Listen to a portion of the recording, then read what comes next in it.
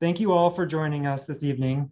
I'm Matthew Silverman, the director of the Haberman Institute for Jewish Studies, and it is my pleasure to welcome you to our program titled Strangers at the Gate, a, bib a biblical view of Israelites and their neighbors with Dr. Adriane Leveen. I would like to extend a special thank you to Andrew Ammerman for sponsoring this lecture in, uh, in loving memory of H. Max and Josephine Ammerman, Stephen C. Ammerman, Dr. Harvey and Linnell Ammerman, and Dr. Bruce Ammerman. Thank you, Andrew. We appreciate all your leadership, collaboration, and support of adult Jewish learning. I would also like to thank our partner, Washington Hebrew Congregation, for helping bring this lecture to the community. The connection between Washington Hebrew and the Haberman Institute runs deep, and we look forward to a meaningful ongoing partnership. With that, I would now like to welcome Rabbi Aaron Miller, Associate Rabbi at Washington Hebrew Congregation, to say a few words of welcome. Thank you, Matt. Um, I want to welcome uh, all of you and say what an honor it is to be here over Zoom with all of you I know from around the world. Um, it is a joy to be here. It's a joy to celebrate this moment uh, with the Haberman Institute and also to be a part of the uh, wonderful continuation of Rabbi Joshua Haberman's legacy. Uh, rabbi Haberman was the senior rabbi at Washington Hebrew for decades, and uh, upon his retirement, he founded the Foundation for Jewish Studies in 1983, which he led as the organization, and he led the organization as chair of the board through the summer of 2017. Um, then in 2018, as the name of the organization changed, uh, to the Haberman Institute for Jewish Studies, we as Washington Hebrew continue to deepen that partnership. Uh, Washington Hebrew is a congregation that cares deeply about adult education. Uh, Rabbi Haberman, of blessed memory, uh, cared deeply about the continuation of adult education. And so as our organizations continue to, to grow together, we found countless ways of partnering together to make sure that our community and, uh, and the memory of our founding rabbi could continue to be, uh, not our founding rabbi, but a senior rabbi could continue to be uh, for a blessing. Um, we have done this many times before in wonderful partnership with the Haberman Institute. Um, uh, in large thanks to Andrew Ammerman, uh, which Matt, uh, who Matt already introduced, uh, who's been a wonderful partner and friend of both organizations. Um, I know I was just on the phone with him yesterday and how excited he is for this continued collaboration. Um, so Andrew, I, I believe you are here from Hawaii, and I want to thank you for making this and so many other wonderful partnerships throughout the Washington region uh, happen. So thank you. Thank you, Matt. And I'd like to hand things over to Harvey.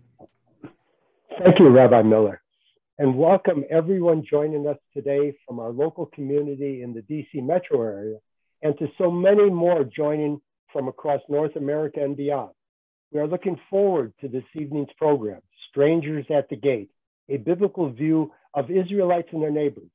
This program is two years in the making, originally scheduled for exactly two years ago today, May 19th, 2020. We are thrilled to finally welcome Dr. Leveen to our community. I'm Harvey Iglarsh, a Haberman Institute of Jewish Studies board member. To those of you who are new to our lectures and classes, we are glad you are here learning with us today. Our mission is to provide adults with high quality, in-depth encounters with Jewish thought, history, and culture. This evening's lecture will explore encounters between Israelites and their neighbors. Among the most important matters explored in biblical narratives, yet relatively little attention has been paid to them. This is somewhat surprising, especially since, as we'll see today, these are really good stories that reverberate in our communities today. We invite you to learn more about our programs and classes by visiting our website, habermaninstitute.org. Our next program is coming up on June 1st, Revelation and Remembrance, recapturing the Echoes of Sinai, a lecture in memory of our friend and teacher, Avi West. Please join us online or in person in Rockville, Maryland to learn together. And now, on to our talk this evening. Dr. Adriane Leveen is senior lecturer in Hebrew Bible at Hebrew Union College, Jewish Institute of Religion, having previously taught at Stanford University. Her books include biblical narratives of Israelites and their neighbors, strangers at the gates, and memory and tradition, in the book of Numbers. She has published in a number of scholarly journals, including Proof Text, Journal of the Study of the Old Testament, and Harvard's Theological Review. Her passion includes biblical prophets, and the book of Job.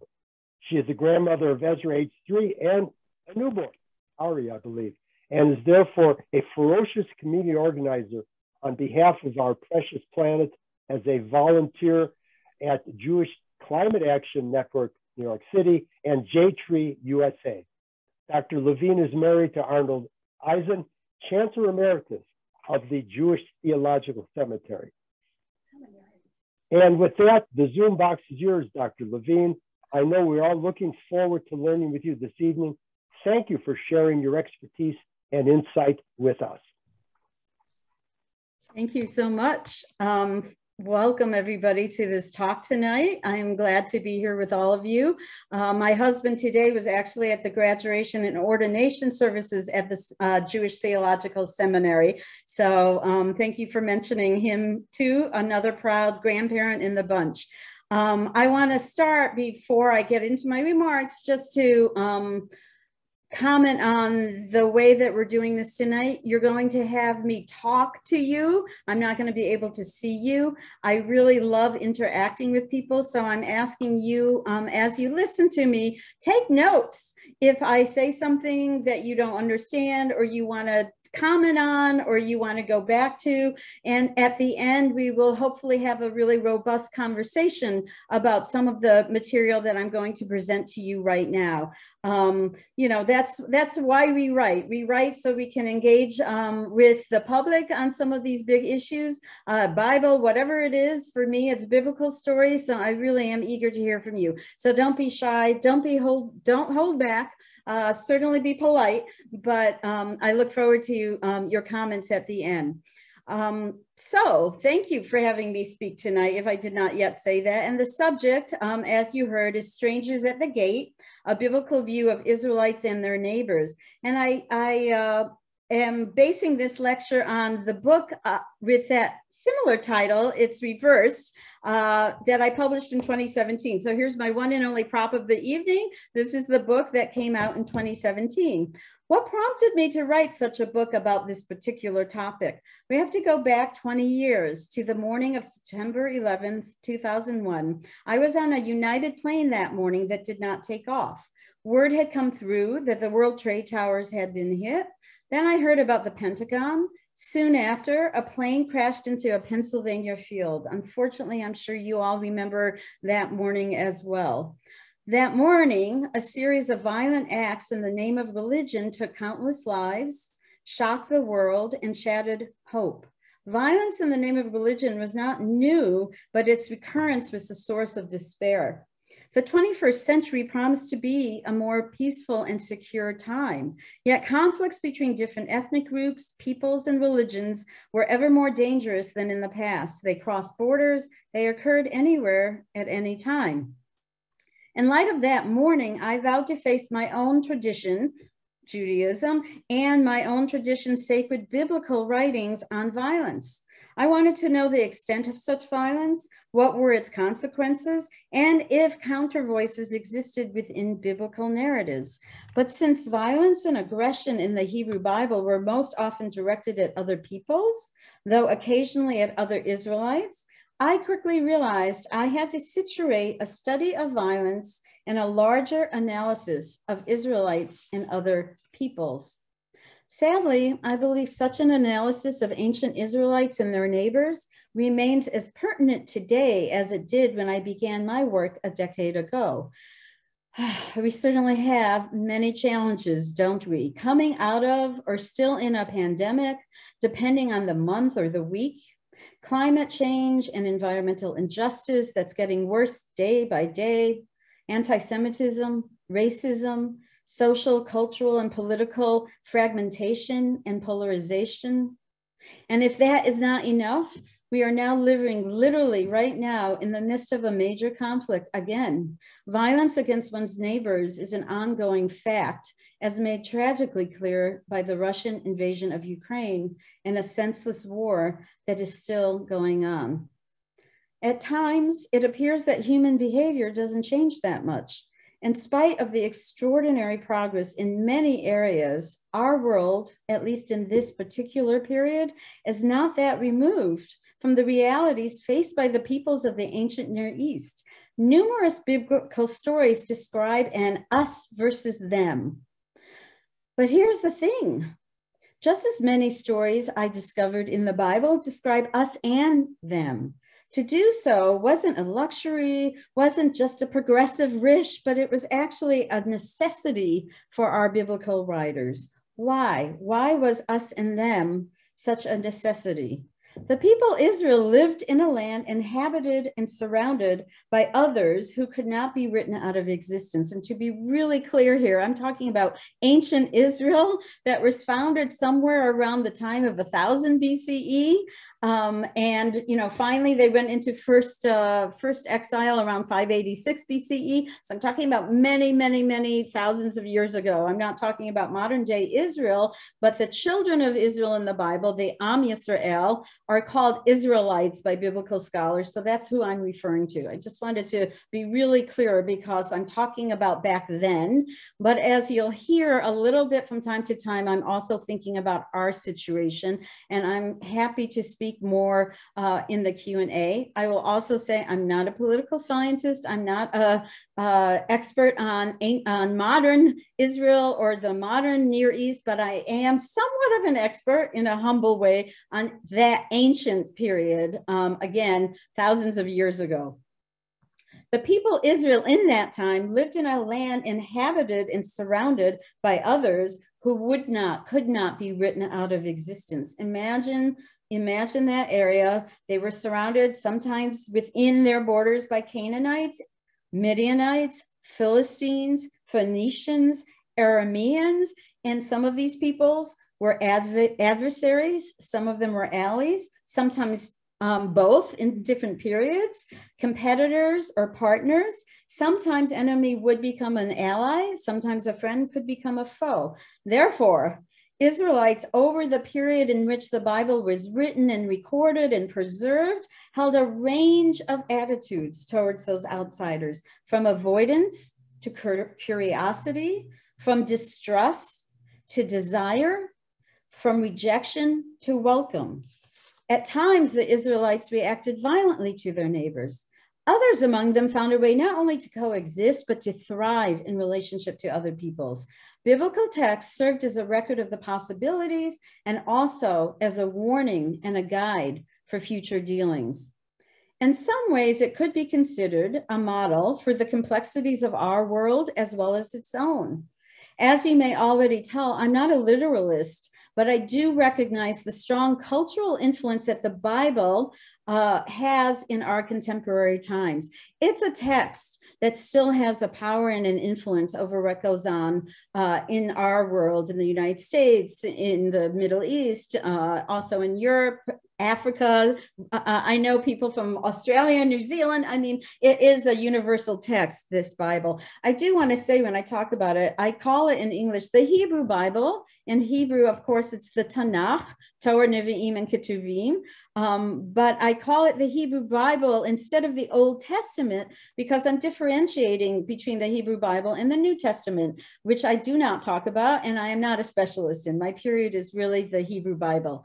Um, in its final form, this Hebrew Bible that I love very much preserves multiple points of view and a decent amount of nuance. I think this last point often does go unnoticed, but it's crucial in helping us think more clearly about Israelites and their neighbors. It may also help us think in our time to think more clearly about the interconnections we experience with those around us in this country, in Israel, in the world. Before jumping into the two somewhat surprising stories of Israelites and their neighbors that I have selected to talk, talk to you about this evening, let me offer you my conclusions. So I'm jumping right to the end. You don't have to leave because I have to get you there, but I'll tell you right now that many stories in the Hebrew Bible or the Tanakh argue that coexistence with other peoples is absolutely necessary, beneficial, and even deeply longed for. That longing is beautifully and famously expressed by my favorite biblical prophet Isaiah in chapter 2, verse 4 of his prophecy. This is a famous line. I'm just bringing it up as the context for our conversation tonight. He wrote back then, they, the many peoples, shall beat their swords into plowshares and their spears into pruning hooks. Nation shall not take up sword against nation, nor shall they learn or study war anymore. Amen. May that be a blessing and a prayer and a hope. Of course, until that vision is actualized, Israelites way back then in the years, now I'm talking about probably, I don't know, 900 to maybe 400 BCE, so 500 years of the biblical period, Israelites had no choice but to be alert to the threats from the outside. But they also needed to seek alternatives to constant conflict in their times. Ultimately, pragmatically, they could not ignore that they lived among other peoples who they would never permanently defeat. We don't have to search very far in the Torah to discover such a nuanced awareness of the reality of all these other peoples who surrounded ancient Israel. Let's start with Abraham. Called by God, he sets out on a journey at the end of Genesis 11, whose destination is unknown. I imagine him wary, perhaps vulnerable. He leaves behind his birthplace and home to travel for months, possibly years, through unfamiliar Mesopotamian territory, modern day Iraq, Iran. He eventually moves on to the land God shows him, only to discover a mere four verses later that famine necessitates a hasty departure to Egypt, a potentially hostile and dangerous region. Seemingly always on the road, now and forevermore, Abraham is a stranger in a world he does not know. He encounters a powerful Pharaoh, numerous kings, a crafty priest of El Elyon, the wicked townspeople of Sodom and Gomorrah. Without property of his own, he is forced to bargain with the townspeople to gain, I'm sorry, uh, a piece of ground in which to bury his wife. Having quickly learned the challenges and especially the perils of being uprooted, Abraham must urgently distinguish between those who wish him harm and those who do not. His is not an easy task, but it is a necessary one. More important even than obtaining wealth or territory, Abraham must try to understand the countless strangers that he meets along the way and those who live just beyond his tent, beyond his gate. The biblical stories of his life preserve that hard earned knowledge. That's Abraham. Years later, his descendants, the people Israel, find themselves in a similar situation. They too need to understand a world of strangers, first in Egypt, like their ancestor, then during an equally fought journey back through the wilderness to the promised land. But even after crossing the river Jordan and finally arriving, as Abraham had in the promised land, the Israelites must continue to live alongside others, build relationships with them, and seek to understand, outwit, or befriend them, or sometimes all of the above, I imagine. The literary record of such relationships is preserved by our biblical writers in compelling and at times surprising narratives of these Israelites from long ago and their neighbors. So let me now share with you just two stories tonight from that literary record one focused on the threat of violence in the book of Joshua, the other a story from the book of Kings that invites the reader to shift from ridicule and mockery to appreciation of an outsider. In each story, the presence of outsiders do force their Israelite counterparts to reconsider what they thought they understood about their enemies who happened largely to live right next door. As I describe each of these stories to you in what is famously called a close, careful reading of a particular text, let me stop along the way here and there to point out to you how the writer is leading me and perhaps you to an interpretation or a message that the writer was eager to get across. And I will end this talk with a very brief comment on how these biblical tales might be of use to us in the world in which we find ourselves. Tonight, I chose not to put a text up on the screen for you, just to have you see me. So there's a little bit more connection between us. I will mention, mention the chapters and verses that these stories come from. Uh, and you can certainly go back and reread them yourselves if your if your interest is piqued and your curiosity. Um, I'm going to talk about them in English. I'm going to give you asides about what I think is happening in them and what communication they're uh, presenting to us. And as I said at the beginning, if you have any questions or comments, please make sure to jot them down and we can come back to them. So I will stop and try to um, highlight some of the literary artistry of the um, writers. And as you can tell, I am a literary scholar of the Bible. That's the particular um, point that I come to the Bible from. I'm interested in storytelling. I'm interested in narrative. I love poetry. You can't not love poetry if you read the prophets. So I will re read for you these stories. But in these stories, I hope you understand that the writers are really thinking about and sorting out how to live with each other um, and, and some of the assumptions that they make that need to be clarified, and some of the assumptions and stereotypes that we might hold as we read these stories. I'm going to put it all out there for you um, in as clear a way as possible. And again, I'm going to end this talk with just a very brief comment about how these tales might help us think about where we're at in the world ourselves. So here we go. The first example comes from the book of Joshua, and it's about a particular people who are not Israelites, who are probably very, very ancient in the land. Uh, and they are called in English the Anakites, or in Hebrew, Ha'anakim, Ha'anak. You might realize you'll uh, be familiar with them. They make an appearance in our Torah cycle in the book of Numbers and in the book of Deuteronomy, which I will come back to um, in just a minute. Uh, but let me begin by telling you that this first story from the book of Joshua details the crossing over from the wilderness into the land after Moses died, right? So we're done with Deuteronomy and the five books, and now we're moving into the book of Joshua. And at that time, Joshua is now in charge. Moses sadly died in the wilderness and did not cross over with them. Joshua is the successor and is in charge. Uh, excessive violence in a campaign begun by divine command turns out to be both impossible and undesirable at this stage in the story. So they are told they have to conquer the land, they get ready to conquer the land. It takes much longer than they think it will. And in the end, we discover they're not actually fully successful in their task. None other than Joshua, who is the commander of the Israelite army, comes to rethink this goal and rethink his enemy in more sober and careful ways. There's no triumphalism here. Sometimes people think Joshua is a triumphalist book. If you read it really slowly, which I did when I was doing my research, I was very interested in how complex a book it turned out to be.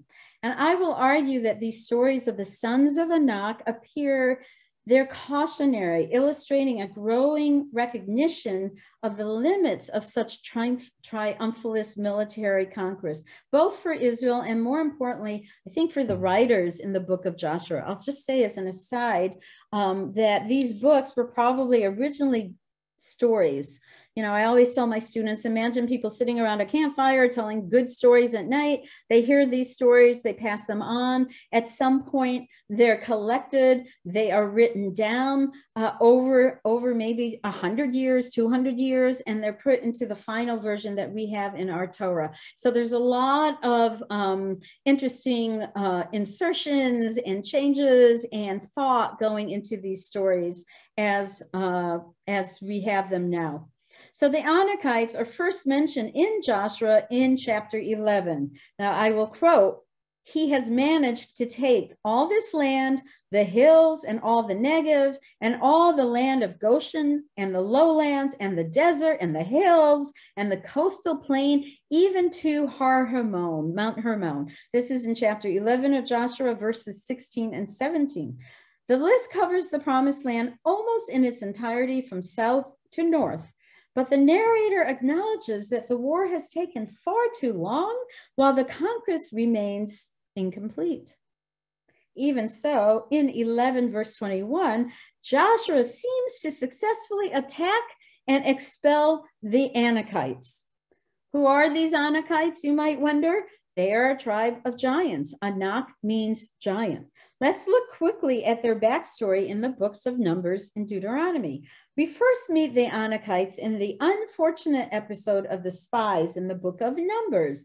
Moses sends 12 men, including Joshua and Caleb, who you'll hear again in a moment, to scout out the promised land in Numbers 13 in preparation for its conquest. Quote from Numbers 13, verse 22. They went up into the Negev, they came to Hebron, and there were Achiman, Sheshai, and Talmai, the children of Anak. The story, as you know, did not end well for the scouts. Seeing the giants led to their failure of will and the eventual punishment of the entire generation freed from Egypt, including Miriam, Aaron, and Moses, all of whom died off in the wilderness. Only Joshua and Caleb remain to lead the next generation into the land in the book of Joshua. The Anakites again appear in Moses' retelling of that difficult wilderness journey in Deuteronomy. They are the yardstick against which Moses compares the other powerful peoples they encounter. The Anakites are described in Deuteronomy uh, chapter 2, verses 10 through 11, and again in verse 21 as Rephaim, another word for giants, again emphasizing their status as intimidating figures, as intimidating giants. By using these two terms for giants, the writer goes out of his way to illustrate the threat that they present to the newly formed people Israel. The Anakites stand out in Moses' memory, literally as well as figuratively, due to their exceptional power, their numbers, and their height. In fact, when Moses urges the people to prepare themselves to conquer the land, he does warn them of the challenge, especially in confronting, quote, a people great and tall, the sons of the Anakites who you know, for you have heard who can stand up against the sons of Anak? And that is in kind of quotation marks in the Bible too. That's that signals it's a kind of aphor, aphorism or a kind of parable. Who can stand up against the sons of Anak? Who indeed? Moses' rhetorical question haunts Joshua and Caleb as they're in the land. It is left to these two years later, as recorded in the book of Joshua, to try to answer that question in the affirmative. But as we shall see, they will fail to do so.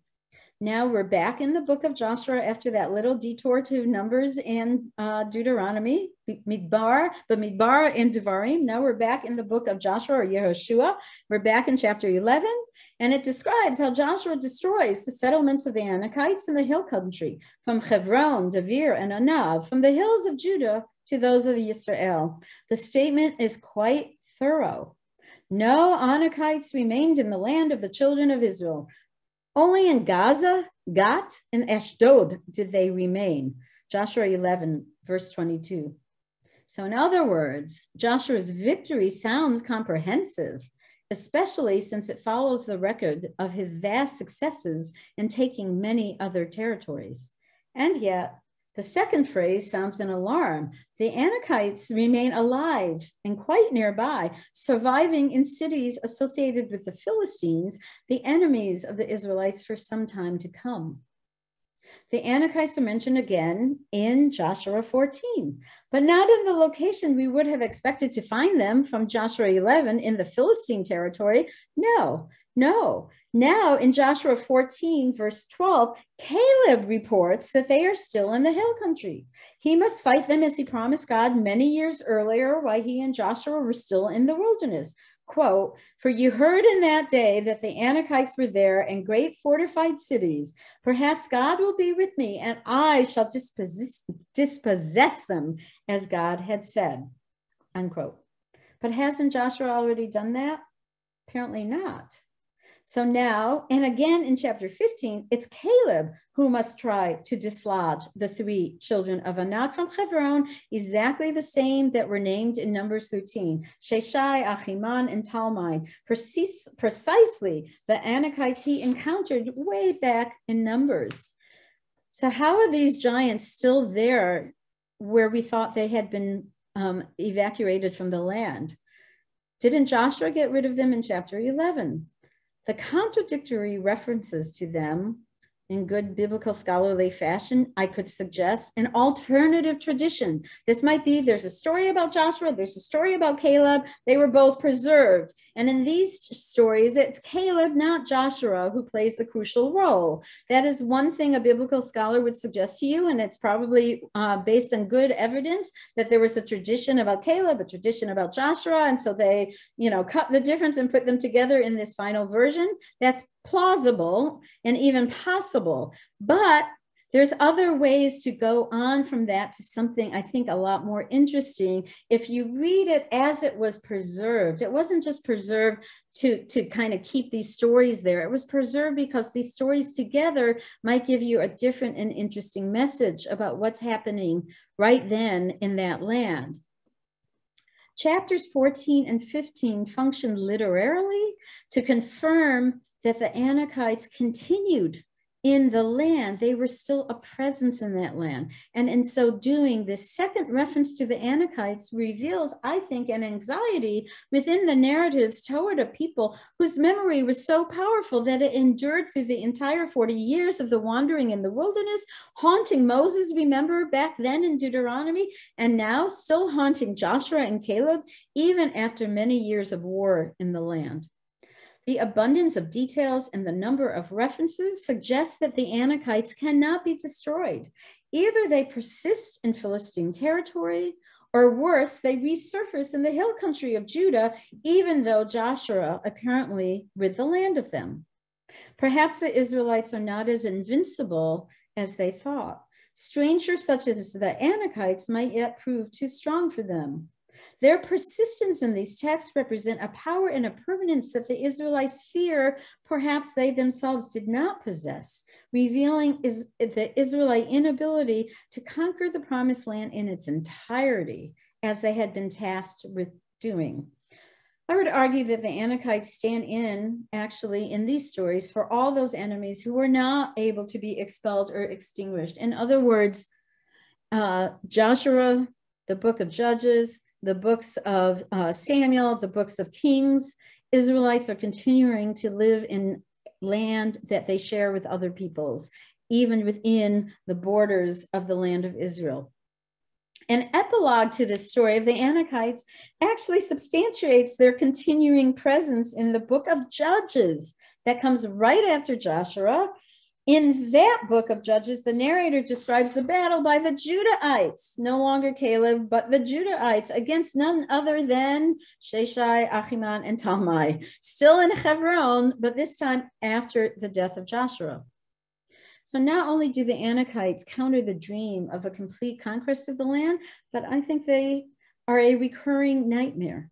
They provide the crack in a triumphalist story of conquest, offering Israelites a more sober realism about the ongoing conflict that they might face in that area of the world, as by the way, they would face in many other areas. I mean, this is the ancient world we're talking about. There was many conflicts over territory, over uh, land, etc. But this is a story of ancient Israel that we're sharing tonight.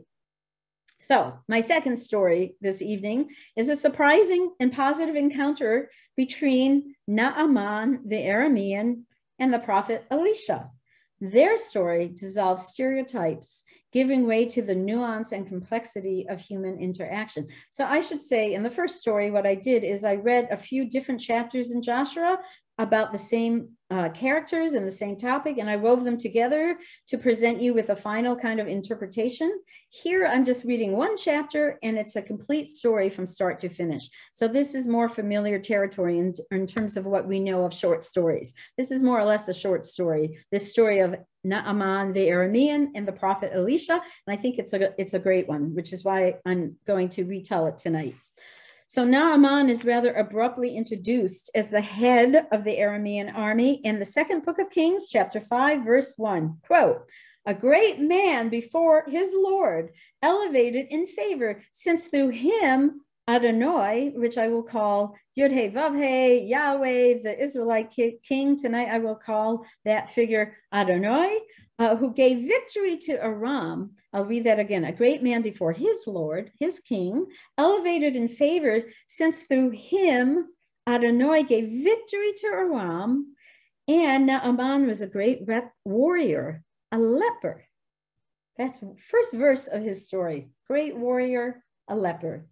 What a mixed description. When one reads a first verse like that, certainly behooves you as the reader to pay attention to details. In other words, why are we being told precisely what we're being told? Why is he a leper? Uh, since I've read a lot of literary stories in the Bible, I can tell you that word leper is not all that common. And if it's in the first verse, it must have an important role to play in the story, and it will, as we shall see. So, first, we learn Naaman is an enemy warrior of great distinction that God uh, uses to allow Aram, a sometime enemy of Israel, victory. Another scholar of the Bible, Frank Spina, explains the effect that that verse might have on the readers.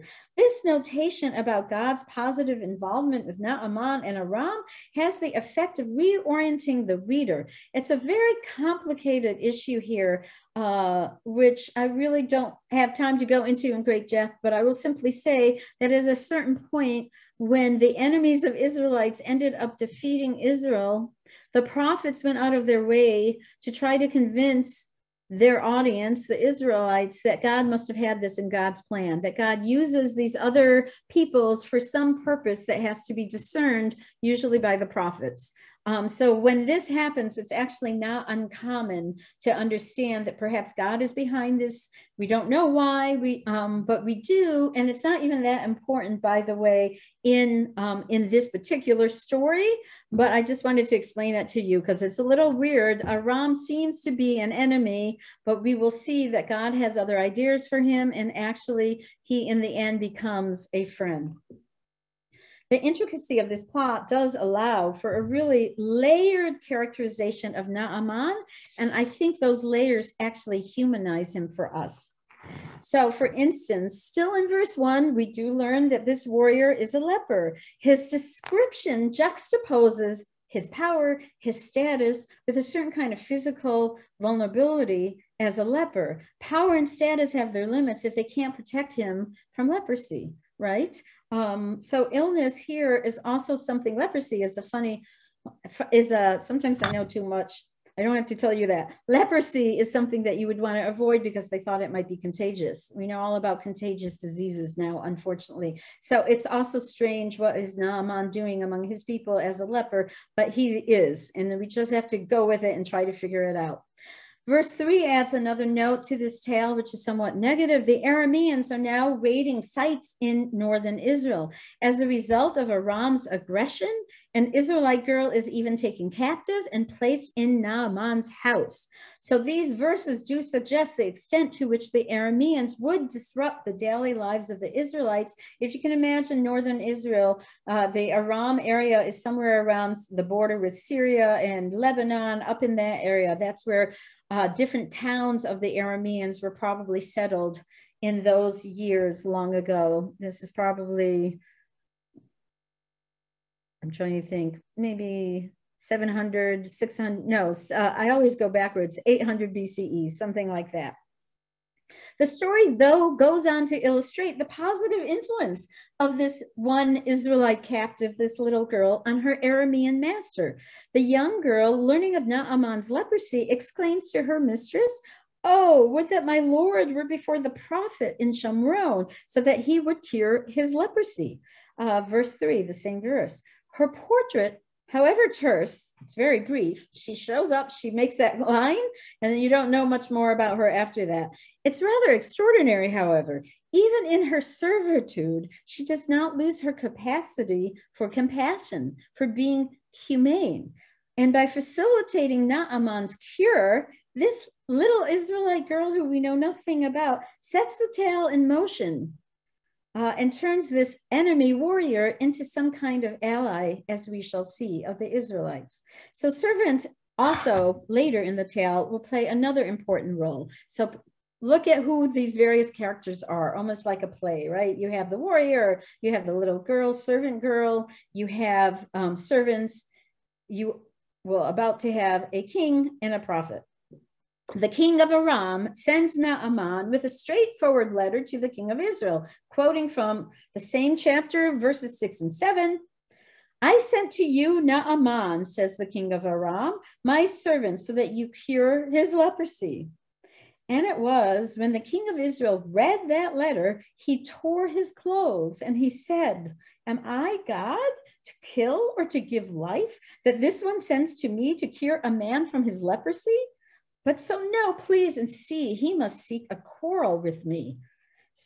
So this king does not believe that this is actually a legitimate legitimate request, and he's quite sure he doesn't know how to cure his leprosy, and he probably will provoke a war, and he's in a terrible pickle. So when faced with such a request, this king of Israel panics Thus does the writer have us see the contrast right away. Remember the calm Israelite, Israelite girl, go to the prophet in Israel. He will cure you. And this king who doesn't even think of the prophet, who doesn't even know what to do, right? His panic is then juxtaposed with her calm as he rushes to the worst possible scenario that the Arameans must be tricking him.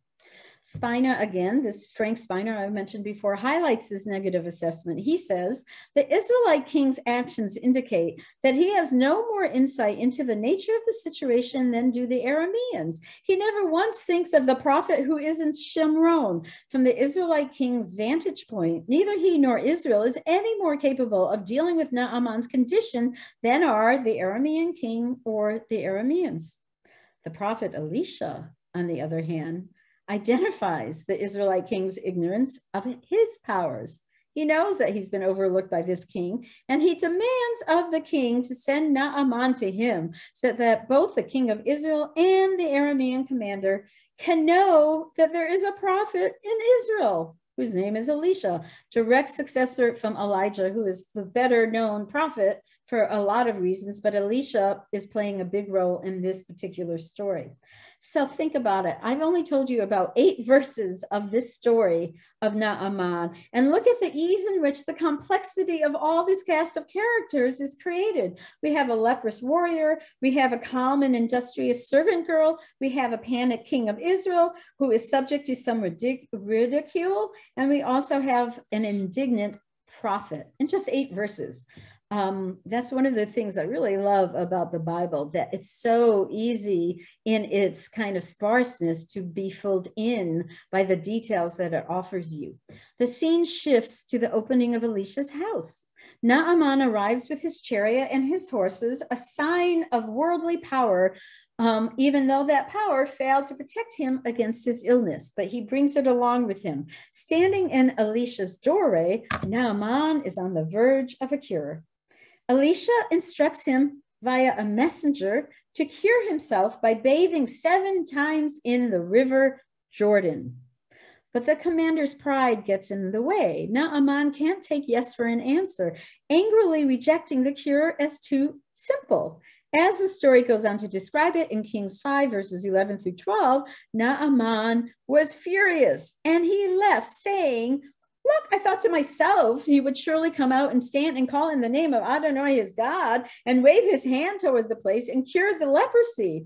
Are not my rivers of Damascus, the Amana and the Pharpar, better than all the rivers of Israel? Couldn't I wash in them and be purified? And he turned and went off in a fury. He has very clear expectations, apparently, of prophetic ritual think he thinks this is how it should go. And the syntax of the sentence even conveys his fury to myself, he says, right? He's announcing his expectation that the prophet would at least show him the respect of speaking directly to him and not through a messenger. Naaman has not recognized that by coming to Elisha, he has placed himself at his mercy.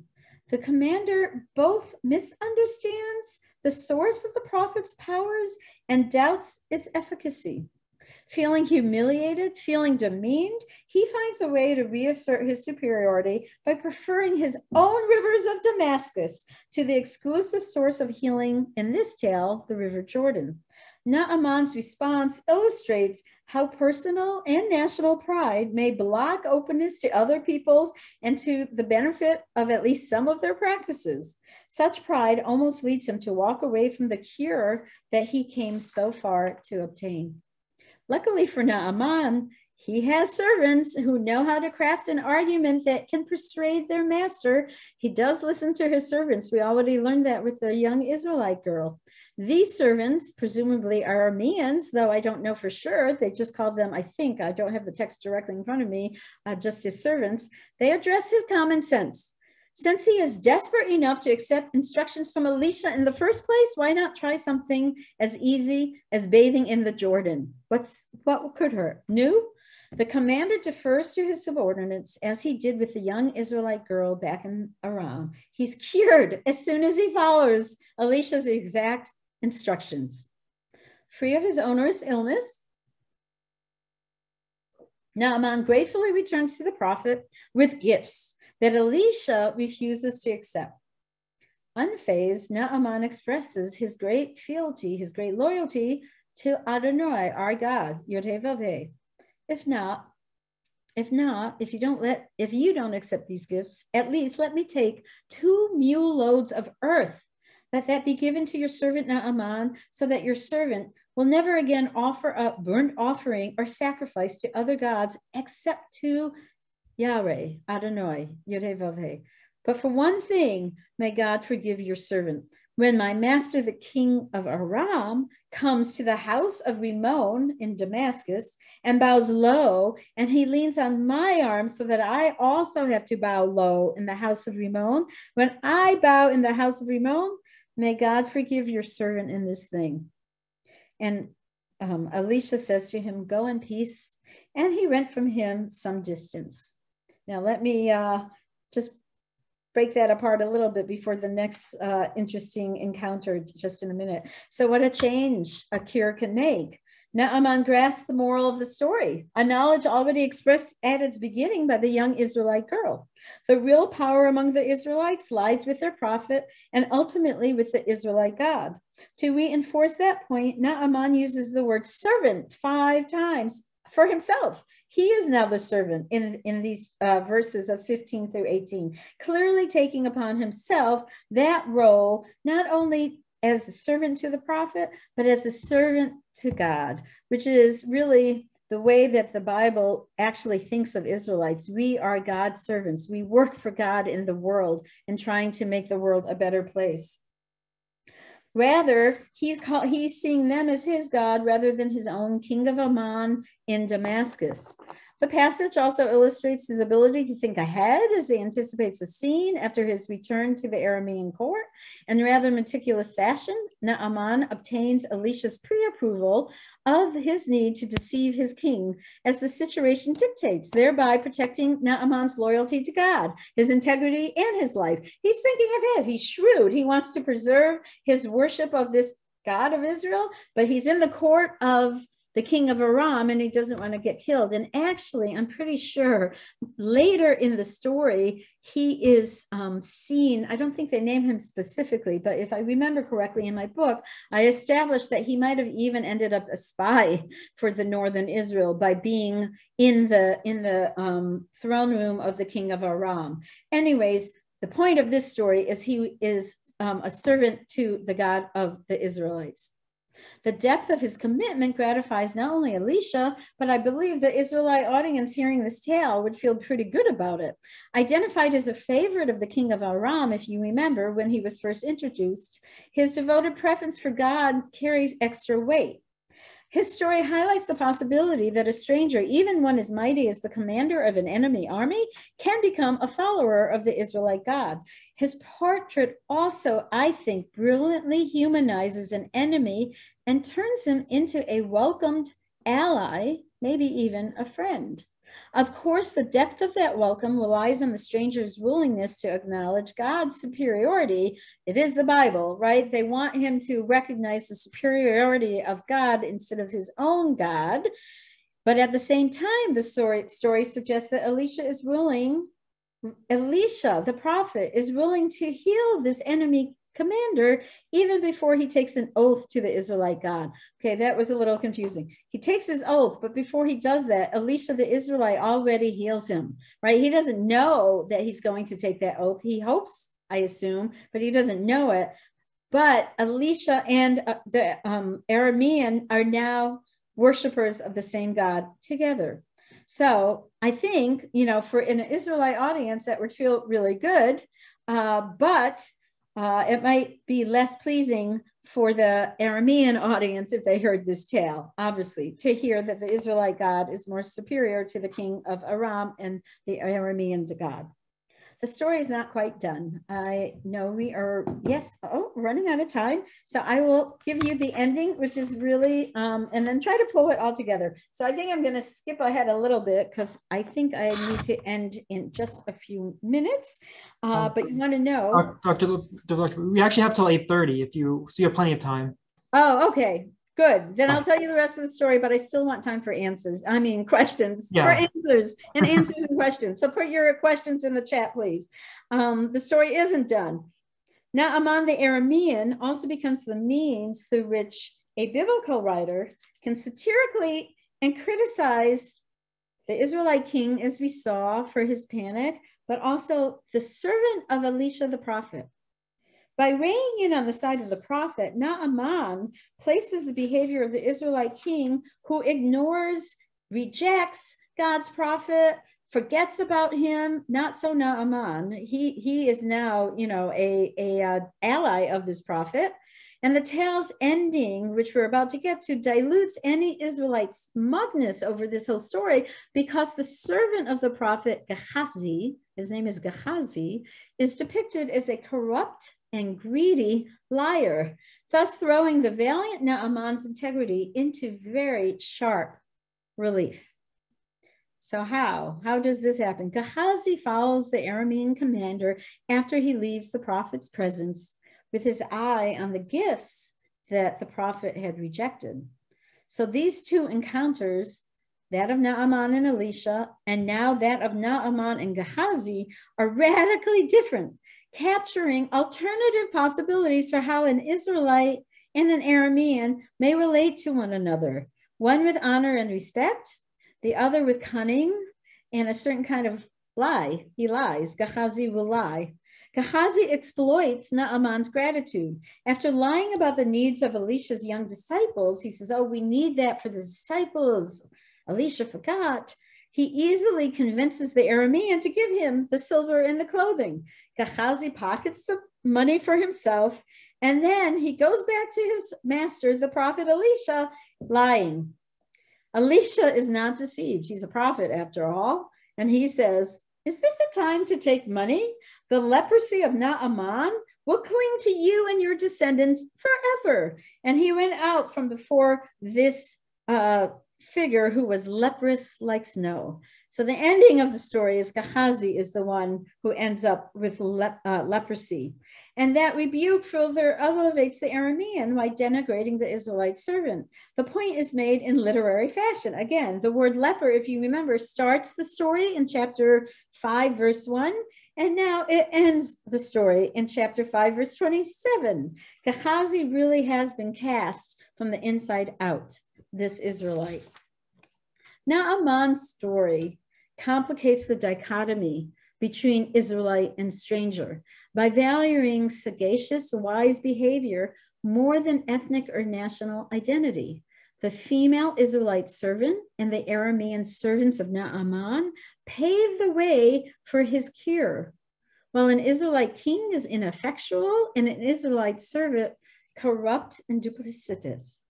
Yet ethnic, eh, sorry, ethnicity does still play a role. As an Aramean, Naaman reinforces the credibility and the stature of the Israelite prophet Elisha and the superiority of God. By the end of this tale, it is hard to maintain stereotypes. One has a fuller, richer picture of Naaman the Aramean and perhaps admires him. I do, but scorns Gehazi the Israelite. Taken together, these two stories of the Anakites and the Arameans illustrate that strangers within Israel's borders and those from the outside are of great interest to the biblical writers. The authority of a significant leader in Israel, commander or prophet, sanctions the outcome of each of these stories, the one in Joshua and the one in Kings, about the giants, the Anakites, and the Arameans. Remember that first story forces the reader and Joshua, for that matter, to realize that an over reliance on violence can only lead to unceasing conflict. The recurring presence of the Anakites illustrates the limits of violence and warns against the folly of assuming its efficacy in ridding the land of other peoples. And a recent essay by Jonathan Haidt, H A I D T, I believe it was in the Atlantic, on the dangerous and pervasive divisions in our time, fed by social media. He suggests that societies need ways in which to build in mechanisms that might slow things down, that might cool passions, that might require compromise. That's a quote from him. I would say also reflection, also take a breath. I believe that these biblical narratives aim to do that. They aim to slow things down by telling their stories, perhaps to cool your passions, to demand compromise in order to move the Israelites of that time in the Bible away from constant conflict with other peoples and perhaps also among themselves. I, you know, there are there are many stories I could talk about. There are a number of them where the northern Israelites and the southern Israelites actually battle each other. So, you know, there's conflict all around. In this second story that I just spent a lot of time retelling, Elisha the prophet exemplifies uh, this this way of learning how to slow down, cool passions, demand compromise by healing Naaman the Aramean instead of treating him as an enemy, treats him as a human being who needs a healing. In so doing, Elisha succeeds in turning a warrior enemy, a commander, into an ally. So, here are just some concluding thoughts for all of us. Readings in numerous other biblical stories that I read in, I'll show you my book again, uh, came out in 2017, that biblical writers considered not only how to protect themselves from their enemies or how to fight against them, or but also how to move enemies from strangers into neighbors so that they could coexist in peace and the end of the many rich and suspenseful, tragic, surprising, even weird stories that I read, including the two I described tonight, you realize, you discover that they really avoided a strict ideological stance of us versus them. There was plenty of that, but that was the, the only stance. There was also plenty of us and then, us and them. Biblical writers were realistic in their stories by depicting and preserving a continuum of attitudes towards other peoples, which often enough made space for Israelites to turn strangers into neighbors, enemies into friends. How? We've seen some of that tonight by getting to know them, by getting to know the strangers at their gates, whether through happenstance or actually historically, we learn that there were very many shared interests such as mutually beneficial trade between Israelites and Philistines for iron implements as agricultural tools or King Solomon, in building his famous temple, relied on and hired skillful builders and beautiful cedar lumber from the king of Hiram, who happened to be a friend of his, to build the very house of God. Such contacts between Israelites and other peoples led at least some biblical writers to recognize the benefits of cross pollination in cultural and intellectual exchanges, to urge generosity and compassion to others when called for rather than hostility, or simply to avoid a polarization that binds a people to unceasing and unwinnable conflict.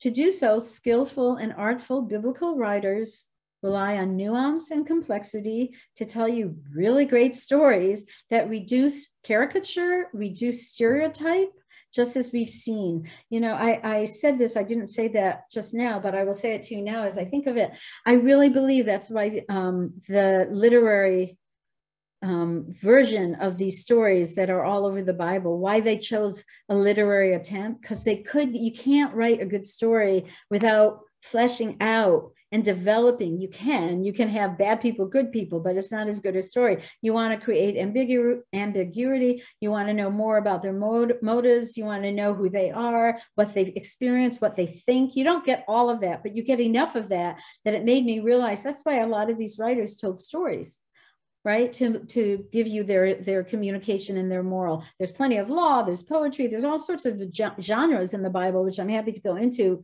in the q&a but there are lots of narratives as well. And they choose those narratives because they can create complexity. And the biblical writers are nothing if not complex and nuanced in these stories. And I think, you know, eventually, as I said, these stories come down through time until they're woven together into all these stories that are preserved. And as they're preserved, they become part of a sacred an authoritative record. That's what the Torah becomes a sacred and authoritative record. But preserved in that record is this continuum of possibilities, of alternatives, of views, of lessons learned, of warnings, of promise and hope and vision. And what is the result? For us, I think, a sweeping conversation, breathtaking in scope, that easily encompasses multiple narratives of Israelites and their strangers at their gate. In its final form, the Hebrew Bible presents later readers, including us, the choice between rejection and tolerance, violence and peace. It might even encourage a different sort of future. May it happen speedily in our time with our neighbors. Thank you.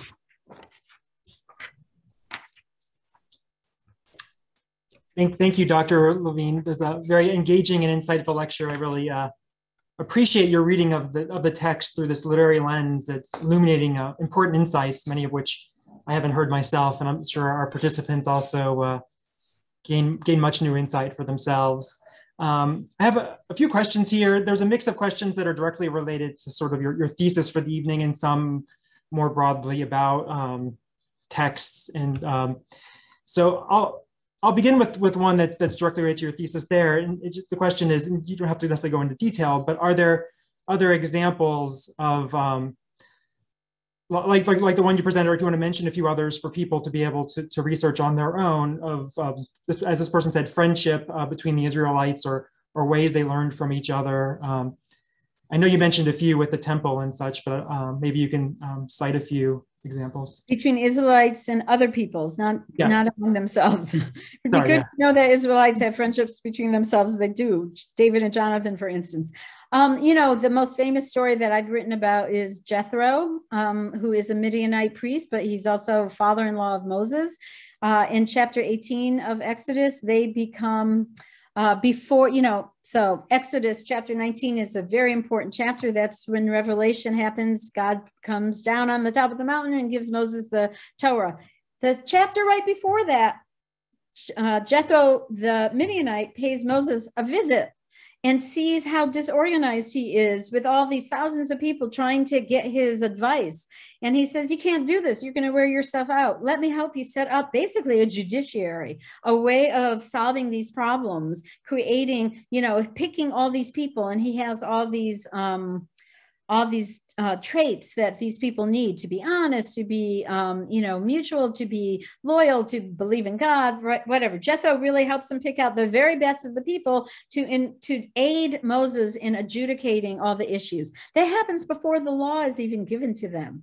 And the understanding here is that this Midianite priest maybe with more experience he was you know he was a priest in his own in his own tribe. Maybe he knows something and he sees that moses needs his help and they do that um, in order to create a way for the law once they get it from god to really be adjudicated among the people. That's like a big you know a pretty big example. Um, hagar who is an egyptian uh, in genesis uh, plays a very big role. I don't know if people realize this, but she's the first female in Genesis to actually see and name God. She calls God El Roi in Genesis 16. And then she also has another uh, round of revelation with God in Genesis 21 with Ishmael. So she plays a very important role. I could go on and on. Obviously, um, uh, if you want, but those are just two that easily pop to mind to me. I guess Balaam, you know, is not exactly a friend to Israel, but he can't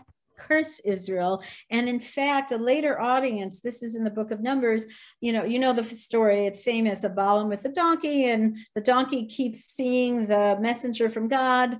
Um, and finally, that messenger says to uh, Balaam, you have to go bless the people. You can't curse these people. So he goes and he blesses them. And it's at a point during the wilderness journey where the people have very bad morale. They feel very um, depressed because, you know, a whole generation is going to be denied entry to the promised land. And it takes Balaam, who happens to be a Midianite as well, I believe, Moab, uh, let's see, Balak is a Moabite, and Balaam, I think, I, would have to look. I'm sorry, I should know it, but it's popped out of my mind. Anyways, he is definitely a big prophet and an outsider. He says, Matovu Yisrael, right? We sing that every day in Shul. If we go to Shul, every Shabbat, you know, he's saying, How great are your tents in a in a time that Israel can't see, see that for themselves.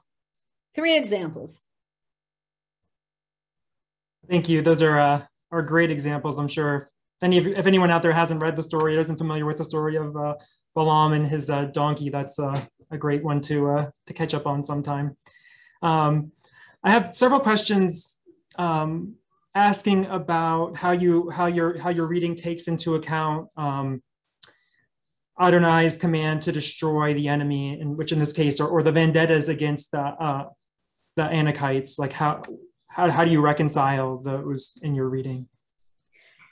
Well, I mean, I think the Anakites survived is was one of the points there, right? That they they outfoxed the Israelites. Actually, um, it's a very difficult, and as I said, that's why I, I wrote this book. I really wanted to investigate the violence.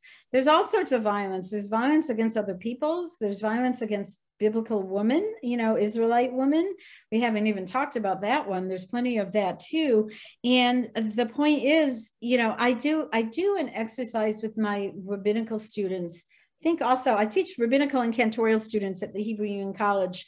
Um, and I always do an exercise with the first chapter of Hosea that is a pretty difficult chapter um, in which, you know, God says, take a woman as a, take a whore uh, and marry her treat and tr- treats her with great abuse. It's a terrible it's a terrible story.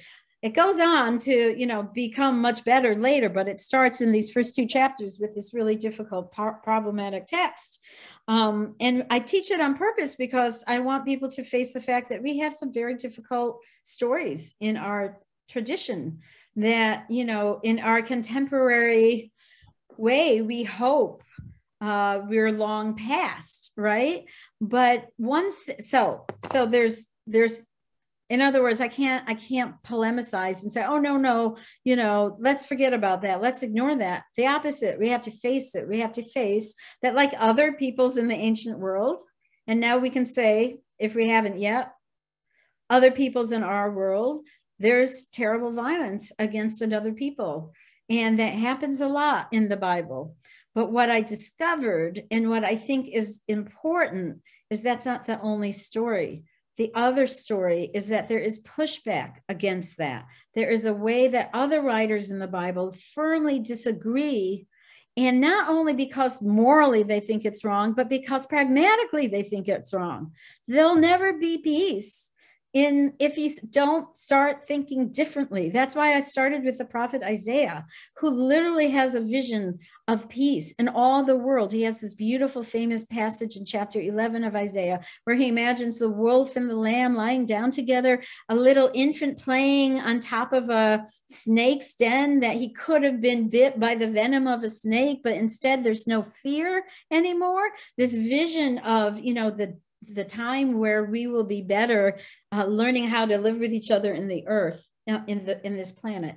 So that's probably not the answer people are hoping for but i can say and that one other thing i will say is that the bible is also the torah. When i say bible i'm thinking hebrew bible the torah the tanakh is very realistic it's very realistic. It's not just, now I just gave you visions. There's a place for visions, but there's also a place for really hard nosed realism.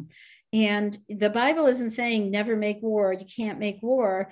It recognizes there are times that there are needs, right? You all probably know, some of you know, the work of Michael Walzer, who really spent a lot of time on this question in the Bible. And he's much more of an expert on it than I am about just wars and unjust wars um, etc. So uh, uh, the reason I'm saying it's a realistic text is because I think it's part of its power. It hasn't, there are some things it couldn't anticipate.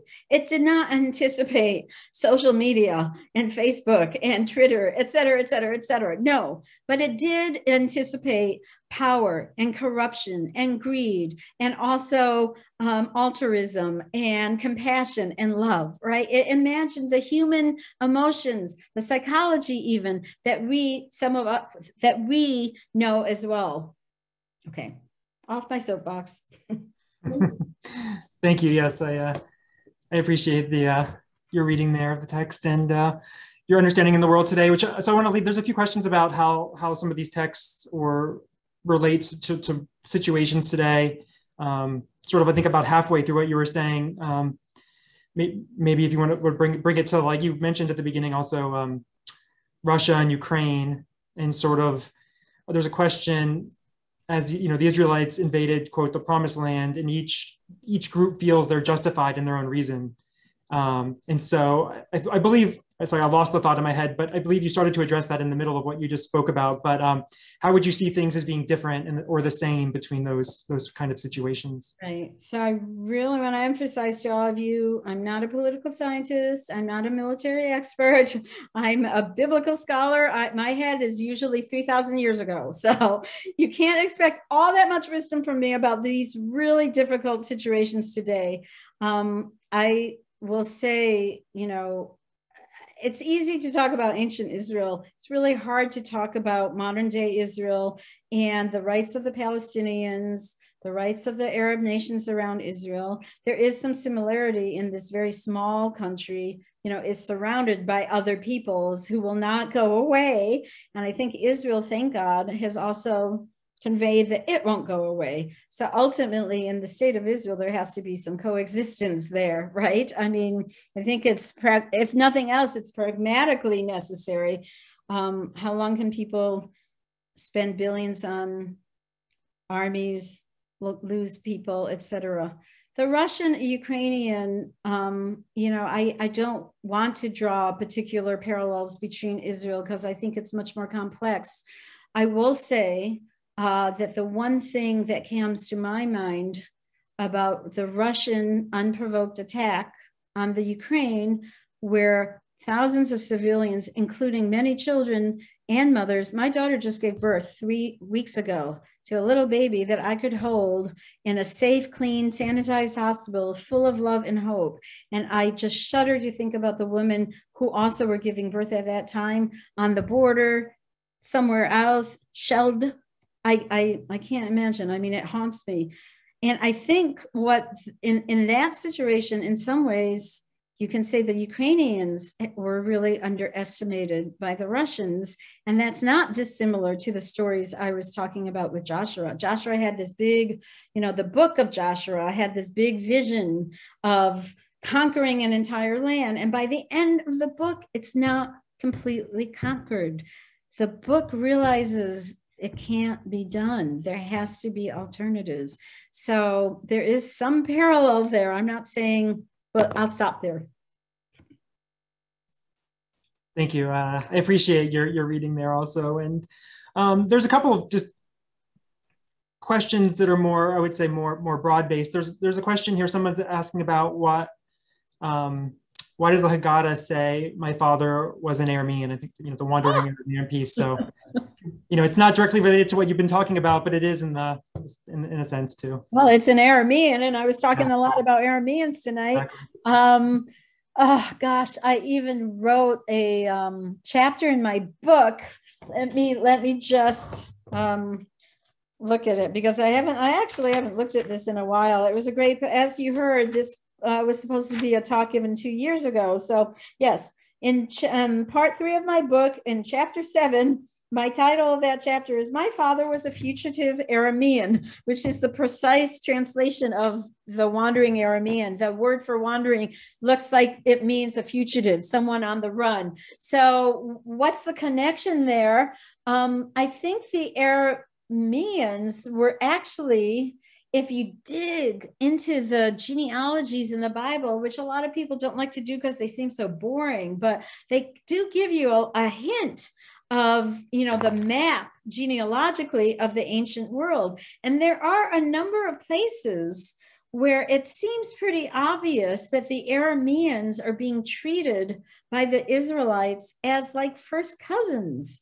I mean, Rebecca, right? Rebecca um, comes, Lavan, who is, you know, her brother, um, who then has the service with Jacob and and we um, Rachel and Leah later on, but Lavan's sister is Rebecca, who is married to um, Isaac, right? Rebecca is um, an Aramean, and in the in Genesis they talk about the Arameans as cousins. So when it says my father was a wandering Aramean, one possible explanation of it is they actually at some point spent time pre Promised Land in the area of um, where the Arameans were. There's a lot of interaction between the early, early Israelites and other peoples. They think, I mentioned Jethro. Jethro's considered a Midianite. There's some evidence that maybe Moses, uh, you know, whether or not there's was the real Moses, I don't have to go into that, but there is some thought that people might, Semites, who were um, connected to the Midianites ended up in the promised land and became the Israelites. We're talking about pre Israel ending up there. Um, and there's evidence even in the Bible that um, in, in chapter five of the book of Judges, it's a very, very old poem. It talks about God coming from Seir, God coming from Sinai. Uh, and that's the area where the Midianites might have been. So there is even some evidence I'm saying this because it could be that the origins of the people Israel are obscure. Could it be from the Midianite tribe?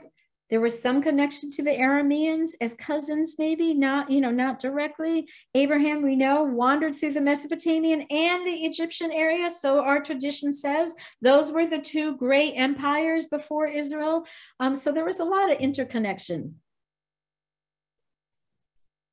Yeah, thank you. It, it, reminds me of you know, even at a later period, um, sort of the Greek period, even there was just some like all the different, like who was a Jew and all the different, you know, whether or not you went through the Babylonian exile and such. There's just there's so much there to the layers of who who who was an Israelite and in what time period. So um, I'm going to ask another another question. Um, you can let me know if it's outside of your sphere, but there's a question here about um, the bathing in, in the Jordan River um, seeming similar to Christian baptism. I, I could add to that mikvah. Um, and um, if there's anything you want to share about whether or not there's Christian interpretation there, anything further you want, want to share about uh, about that? Um, again, I'm not an expert on early Christianity, but they got a lot of their customs and their um, their texts even from the Hebrew Bible, right? So um, Naaman would have been you know, Jesus is the year uh, zero, basically zero forward to CE, 70, 70 CE, etc.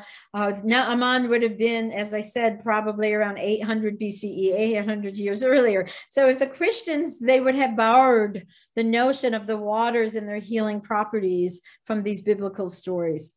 Uh, we know there was some kind of mikvah also because David sees Bathsheba bathing on her roof, and people are assuming it could have been a mikvah that she was bathing herself from her period um, in Jerusalem, and that would have been even earlier, the year 1000. So the idea that water is cleansing, purifying, uh, sacred, right, to, to, to, to, to be a sacred act for somebody um, was all over. I think that was really, you know, certainly all over the Hebrew Bible and moving into Christianity in that way.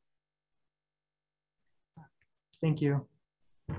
Um, is there is there anything in in your or any lessons to be learned maybe um, from um, the this person notes that many of the uh, foes of Israel um, can be traced back to Esau.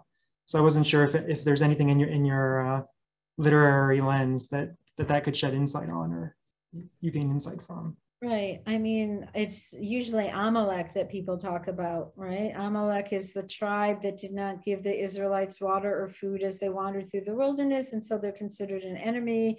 And in the story of Esther, uh, Haman is considered a descendant of the Amalekites. Um, so they're usually the traditional enemy. I'm not aware of Esav um, holding that category. Esau is considered, you know, uh, Seir and Edom, which from time to time would have been friends, not enemies. But you know, Esau's a very um, sympathetic character in the Torah. He's not an enemy at all in the Torah. He's he um, is outfoxed by his brother ultimately, right? He his brother manages to get the blessing from him.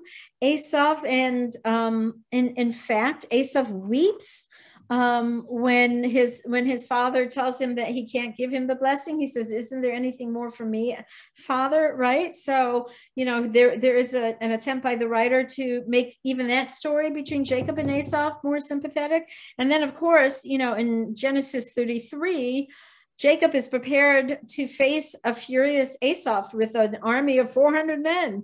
And instead, Esav gives him a hug and a kiss and weeps over him and says, You know, my brother, I am so glad to see you. And Jacob says, Seeing you is like seeing the face of God. So I don't think Esav is accurately described as an enemy of Israel. There's later ambivalence about him. And in the Talmud, right, the rabbis start thinking of Rome as Esau. How they got there is for a different lecturer, somebody who's an expert in rabbis, okay, in the rabbinic material. Yeah, thank you. Uh, yeah, the, the maybe yeah maybe the person was thinking about that you know the, the, more the Talmudic example of, of Rome there, which is you know much much later than the time period we're looking at today. So, right. thank you. Um, there's another question here.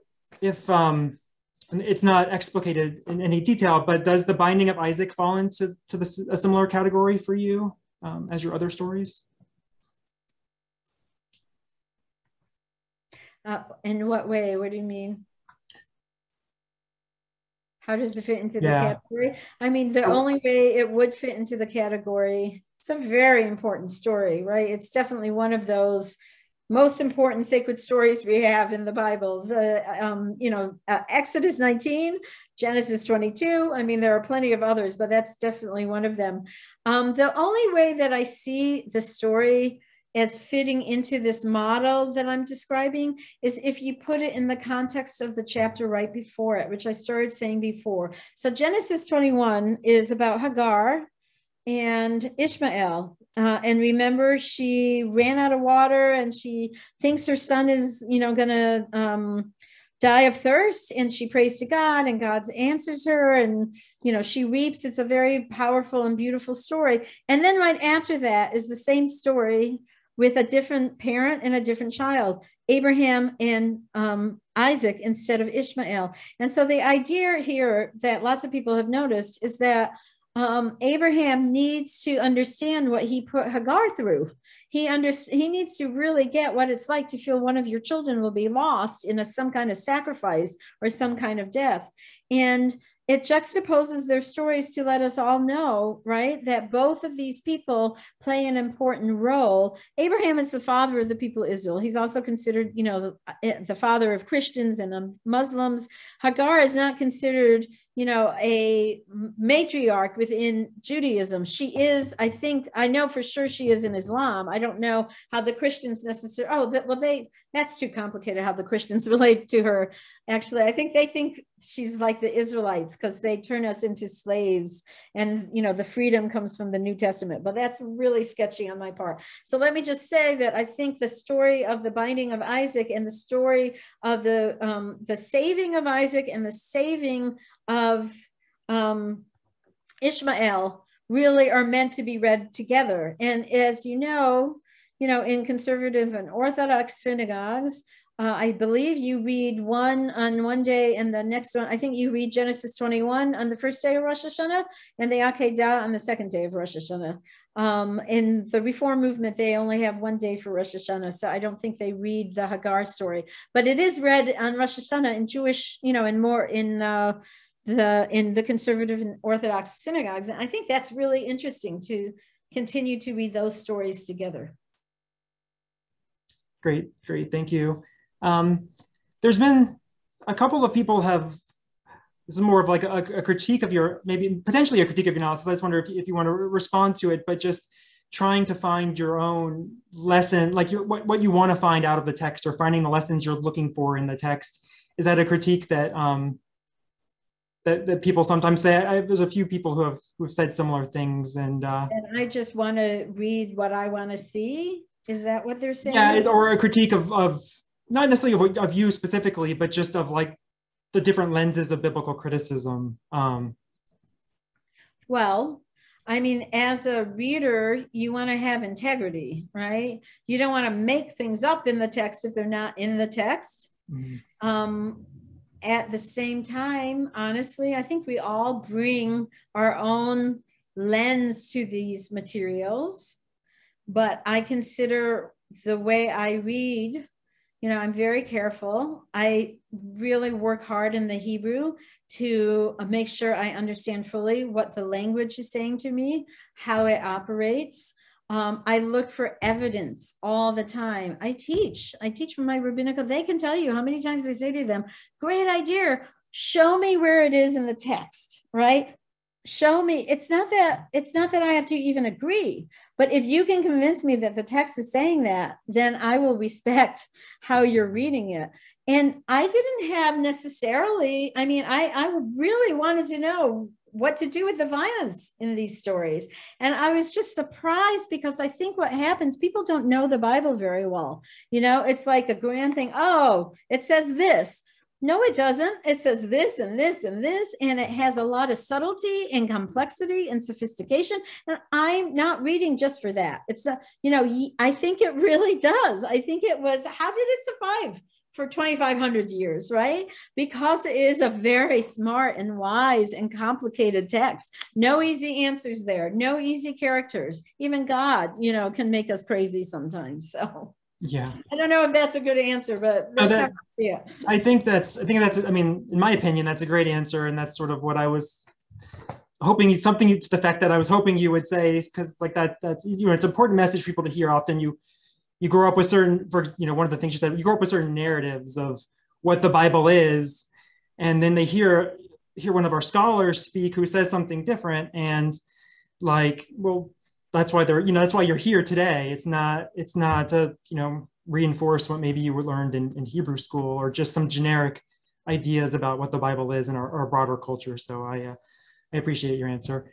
Um, just as as as we wrap up, I don't I want to leave you with you know kind of if you if there's anything you want to pull back together. I know we've we've we've we've journeyed together. So if there's anything you want to pull back um, as some final thoughts together. Um, not really. I'm just I'm happy that people had questions and responded, and you know that meant they were listening, which is great.